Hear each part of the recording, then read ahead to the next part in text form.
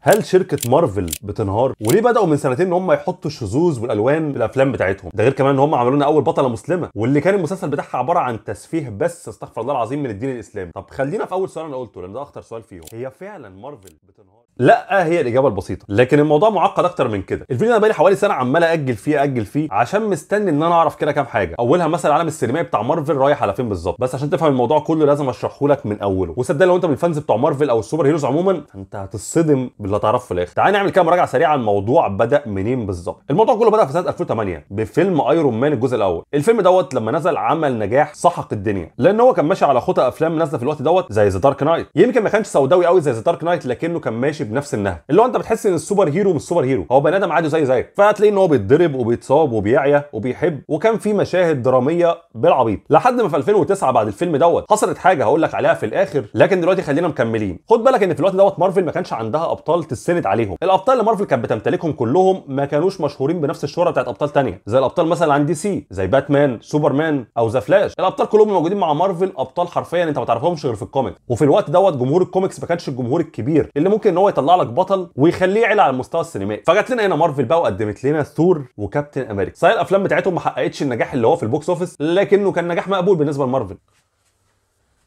لحد ما جت سنة 2012 يا ربنا. يا ربنا إن هم يعملوا فكرة ال cinematic universe أو العالم السينمائي. هو طبعا في الأفلام اللي قبل كده كان في تلميحات بس مخي مخي ما جابش. اللي هو إيه ده؟ إزاي يا جدعان الكلام ده؟ كنت أنا وقتها تقريبا في تانية أو تالتة إعدادي وكنت مش قادر أستوعب الفكرة. The Hulk وثور و Iron Man و Black Widow و Hawkeye وليلة كبيرة قوي سعادتك. وكل دول جابوهم لك وحطهم لك في- package واحد. اتفرج يا معلم. فضلت الأفلام بتاعت مارفل ماشية بنفس النهج دوت لحد ما وصلوا 2016 وعملوا لك Civil War وهنا انت قدرت انك تشوف مجموعة أبطال أكتر. وكان برضه طريقة العرض مختلفة لأن الأبطال بيتصارعوا مع بعضهم. ولحد ما إحنا وصلنا في 2018 وحصل واحد من أعظم الملاحم في تاريخ السينما Avengers Infinity War في الوقت اللي كانت DC فيه فشلت في إن هي تعمل cinematic universe أو عالم سينمائي شبه اللي عملته مارفل كانت مارفل خلاص في ذروة نجاحها. وفي 2019 المفترض إن ال franchise دوت كله بينتهي نهاية عظيمة جدا في فيلم Endgame لحد كده الأمور ماشية تمام ما اختلفناش. ولو أنت مارفل fan أنت عارف كل الكلام اللي أنا حكيته دوت. إيه بقى اللي جد جديد؟ المفترض إن بنهايه Endgame العالم بتاع مارفل كله خلاص انتهى. أو إن القصة اللي اتبقت فيه ما تكفيش إن أنت بعدها تبني أي franchise تاني. أو على الأقل هيكون بنفس الحجم حتى. لكن مارفل بقى قالت لك لا لا ثانية واحدة ثانية معلش. عشان بس إيه؟ اللي أنتوا بتقولوه ده. ال franchise ده كان عبارة حرفيا عن حنفية فلوس. نهر. نهر فلوس داخل لمارفل. وهنا مش بتكلم بس على الايرادات اللي كانت بتجيلهم من السينما. لا ده من ال merch كمان. التيشيرتات اللعب بتاعت الأطفال ال video games اللي هم بيعملوها للموبايلات وللكمبيوتر زود على كده بقى حاجات تانية ملاهي ومسلسلات animation ويلا بينا نعمل Disney Plus ونعملها كلها بس عشان ننزل عليها المسلسلات بتاعت مارفل فجا الرؤساء في مارفل قال لك لا. ما ينفع مفيش والله مفيش حاجة اسمها شطبنا دي شطبنا دي ما ينفعش نسمعوها. فبدل ما هم يروحوا يعملوا للعالم ده حاجة اسمها reboot reboot ده يعني بنبدا لك القصص دي كلها من الأول قال لك لا إحنا هنكمل وهنعمل phase 4 آه ملحمة جديدة. طيب أول فيلم في phase 4 كان مش بس مخيب للأمال وضعيف من ناحية الإيرادات لا ده كمان كان فيه شواذ. فيلم Eternals اللي نزل وكلف مارفل في الوقت دوت 200 مليون دولار. أنت متخيل الرقم؟ مارفل بقى كسبت منه كام؟ 400 مليون دولار بس. آه. ده كارثة. ده كان بالنسبة لمارفل كارثة. انت عارف يعني إيه فيلم يتكلف 200 مليون ويكسب 400 مليون؟ إحنا بنهزر ولا إيه؟ إحنا كان لسه عندنا franchise جاب لنا 2 مليار تقريبا. وعندهم أفلام تانية كانت بتعدي المليار عادي. ففكرة إن في فيلم كلفهم التكلفة ديت كلها وما جابش نفس الرقم دوت.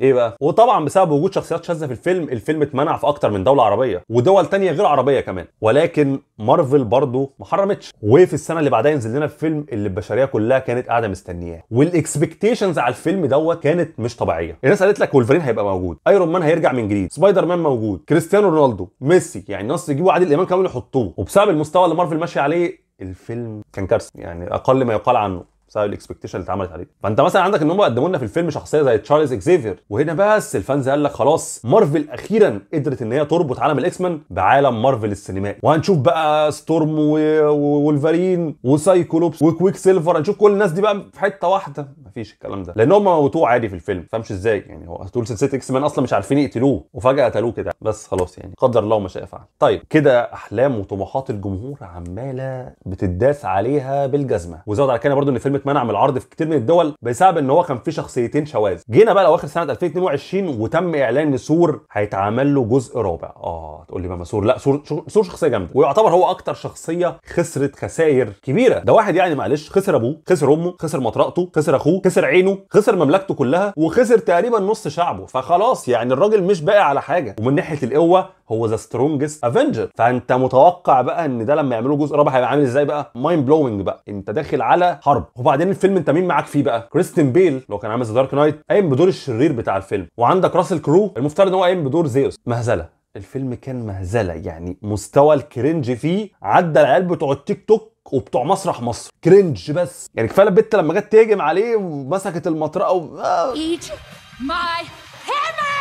طبعا ما اتكلمتش على سبايدر مان لأن هو كان خارج الحسبة وده لأنه اولا بتملكه سوني فالموضوع معقد معايا يعني مش هنقيس عليه. لكن لو جيت بص على كل الأفلام اللي أنا ذكرتها دلوقتي دي ولا فيلم فيهم كان راضي إن هو يعدي النص مليار. صدقني ده رقم قليل جدا بالنسبة لمارفل. ده, ده الطبيعي بتاع مارفل المليار. وحتى الأفلام اللي قدرت إنها تقرب من المليار ما قدرتش إنها تتخطاها بعد كده. فلا واضح إن في حاجة غلط بتحصل. بعدين بقى بدأت مارفل تنزل لنا بمجموعة مسلسلات أنا مش هتكلم عنها كلها. لكن على سبيل المثال وليس الحصر تعال نبص لمسلسل زي شي هالك إيه ده؟ مارفل حرفيا مطلعوهم بيهزوها. حرفيا يا جماعة يا جماعة أنا أقصد حرفيا literally بيهزوها. ده المفترض إن هي في المسلسل دوت بتدعم النسوية وال strong independent woman ما أعرفش إزاي. وعندك مسلسل تاني برضو نزل لمس مارفل. ودي المفترض إن هي أول بطلة خارقة تكون مسلمة. يا يا سلام يا سلام على التقوى يا. المسلسل بقى كان كالآتي. اولا البنت في المسلسل كانت لابسة الحجاب غصب حرفيا هي لابساه غصب. وإن هي بقى لما هتقلع الحجاب هي كده هتبقى superhero بجد. مش عارف إيه العلاقة. ملهاش علاقة بس تمام. يعني هم حسوها هو المخرج حسها كده. أنا أعمل له إيه؟ غير كمان في المسلسل هم مطلعين المساجد مجرد أماكن بس عشان الناس تروح تاكل فيها. الشباشب بتتسرق والظاهره دي ظاهره طبيعية. ودايما المساجد بتكون فيها تراب ومعفنة وده مش حقيقي يعني. فلا مارفل شكرا. لو عايزين أنتوا كده يعني بتنصروا الإسلام؟ لا شكرا. مش عايزين مش عايزين مسلسلات. أنا آسف. شكرا. ما تنصروناش إحنا وحشين يا عم. وعملوا مسلسل لفالكون اللي هو أصلا شخصية جانبية وما كانتش مؤثرة بأي شكل من الأشكال والمفترض إن ده البديل بتاع كابتن أمريكا. طيب كده أنا خلصت لك المراجعة بتاعه كل اللي حصل في آخر 13 سنة من مارفل. إيه بقى؟ نرجع بقى نجاوب على السؤال اللي أنا سألته في الأول وقلت لك إن لأ مارفل مش هتنهار. طبعا أنت استغربت بعد كل اللي أنا قلته ده. هي مش هتنهار. لسبب بسيط زي ما قلت لك هم آه أفلامهم ما بقتش بتجيب إيرادات شبه زمان. الأفلام ما بتقدرش إنها تتخطى. الأرقام بتاعت زمان المليار وكده لكن still هي أفلامهم بتجيب أرباح. وزي ما قلت لك هم مش معتمدين بس على أرباح الأفلام هم بيعتمدوا كمان على بيع حاجة اسمها ال merch زي التيشيرتات واللعب وغيره. فمن الناحية المالية مارفل صعب إنها تنهار. أما بقى بالنسبة للأجندة اللي هم بيحاولوا يفرضوها علينا شبه مثلا إن هم يحطوا لنا الشواذ فكلمة السر في الموضوع دوت هو الفيديو اللي أنت هتتفرج عليه دلوقتي ده. I'm, I'm here as a mother of, of two queer children, actually, um, uh, one transgender child um, um, and one pansexual child, um, and and also as a leader. Um, one of our execs stood up and said, "You know, we only have a handful of queer leads in our content," and I went, "What?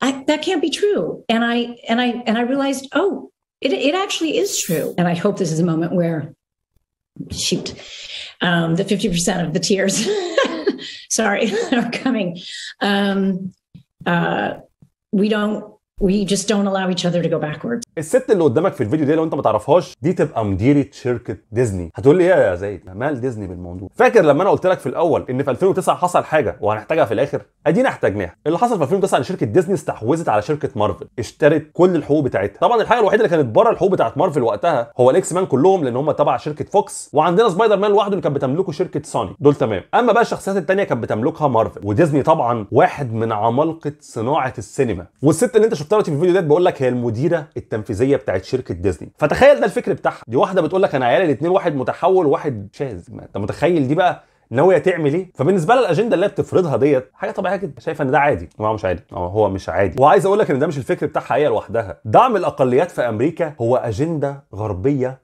بحتة بيتم تطبيقها في كل حاجة. أنا مش بتكلم بس عن ديزني أنا بتكلم كمان عن نتفليكس وعن أي شركة شغالة في صناعة السينما. ديزني لوحدها هيبقى ليها حلقة معايا خاصة أعرفك التاريخ بتاعهم كله بس إحنا دلوقتي خلينا في مارفل. لأن زي ما أنت شفت هم مثلا بيحاولوا يجيبوا لك واحد شبه فالكون من أصحاب البشرة السمراء ويحطوا لك مكان كابتن أمريكا. اللي هو بص بص بص إحنا عندنا إحنا عندنا بطل من الأبطال الاساسيين بتوعنا بشرته سمراء. الحتة كمان بتاعت دعم النسوية. فهتلاحظ تقريبا نص الأبطال بقوا ستات. سيبك يا عم من هالك هات لنا شي هالك. تعال نعمل ايرون وومن بدل ايرون مان وهكذا. بعد ما كان ثور هو أقوى Avenger بالنسبة لنا لا فجأة كده إحنا إحنا نعمل واحدة اسمها كابتن مارفل ونقول إن دي the strongest Avenger ومش بعيد كمان في المستقبل تشوف حاجات شبه ال Afrocentric لو أنت ما تعرفهاش فأنا بشرحها في فيديو لوحده. لكن ده نفس اللي حصل من فترة في فيلم كليوباترا اللي كانوا جايبين فيه واحدة بشرتها سمراء وبيدعوا إن هي دي كليوباترا. وبس كده. عارف إن الفيديو كان طويل شوية؟ لكن ما تنكرش إن هو كان ممتع. هي دي يا سيدي بكل بساطة حكاية مارفل. الموضوع مش معقد قوي لكنه خطير قوي ما تنساش بقى تعمل like واشتراك. أنا ما قلت لك في أول الفيديو على فكرة. أنت عملت ما عملت. فأنا بفكرك تاني ومالكش حجة. بس كده. كان معاكم محمود زايد. سلام.